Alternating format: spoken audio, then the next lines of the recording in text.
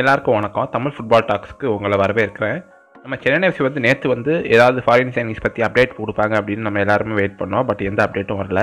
So இந்த நிலமையில் வந்து நம்ம சென்னை எஃப்சி கோச் சாபா லாஸ்ட்டில் வந்து ரீசெண்டாக ஒரு இன்டர்வியூ கொடுத்துருக்காரு. அதில் வந்து நம்ம சென்னை எஃப்சி ஃபாரின் சைனிங்ஸ் பற்றி சில அப்டேட்ஸ் கொடுத்துருக்காரு. ஸோ அதை பற்றி இந்த வீடியோவில் பார்க்கலாம். அண்ட் ஆல்சோ நம்ம சேனலோட கண்டென்ட் உங்களுக்கு பிடிச்சிருந்தா நம்ம சேனலுக்கு சப்ஸ்கிரைப் பண்ணுங்கள் நம்ம சேனலோட வீடியோஸை லைக் அண்ட் ஷேர் பண்ணுங்கள் ஸோ வீடியோக்குள்ளே போகலாம் வாங்க.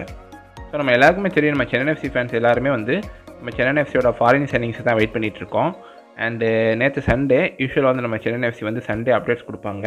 அண்ட் நேற்று நம்ம ஃபேன்ஸ் எல்லாருமே எதிர்பார்த்தோம் அப்டேட்ஸ் பட் எந்த அப்டேட்ஸும் வரல. ஸோ இந்த நாள் வந்து நம்ம கோச் வந்து ரீசெண்டாக ஒரு இன்டர்வியூ கொடுத்துருக்காரு. அதில் வந்து நம்ம சென்னை எஃப்சியோட ஃபாரின் சைனிங்ஸ் பற்றி நம்ம கோச் வந்து கொஞ்சம் அப்டேட்ஸ் கொடுத்துருக்காரு. ஸோ அந்த இன்டர்வியூவில் அவர் என்ன சொல்லியிருக்காரு அப்படின்னா வந்து நம்ம சென்னை எஃப்சி ஃபேன்ஸ்க்கு கூடிய சீக்கிரமே குட் நியூஸ் வரும் அப்படின்னு சொல்லியிருக்காரு.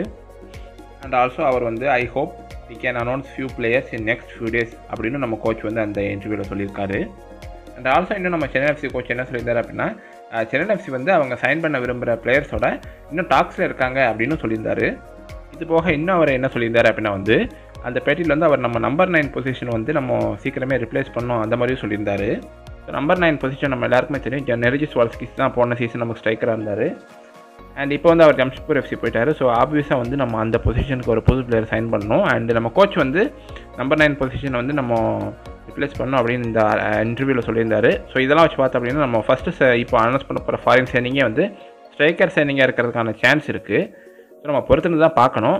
அண்டு uh, இது போக வந்து நம்ம சென்னை எஃப்சி கோச் என்ன சொல்லியிருந்தாரு அப்படின்னா கம்மிங் வீக்ஸில் வந்து டூ த்ரீ நியூ பிளேயர்ஸ் வந்து ரொம்ப சீக்கிரமாகவே நம்ம சென்னை எஃப்சி அனௌன்ஸ் பண்ணுவாங்க அப்படின்னும் நம்ம கோச் சாபாலாஸ்லாம் அந்த இன்டர்வியூவில் சொல்லியிருந்தாரு.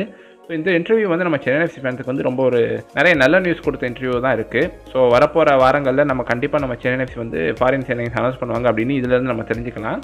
ஸோ நம்ம இன்னும் கொஞ்ச நாள் தான் வெயிட் பண்ணோம் மேபி இந்த வீக் வந்து நம்ம சென்னை எஃப்சி ஃபாரின் சைனிங்ஸ் பற்றி அப்டேட் வரதுக்கான சான்ஸ் இருக்குது நம்ம நம்ம பொறுத்திருந்து பார்க்கலாம். நம்மளால் கான்க்ரீட்டாக சொல்ல முடியல.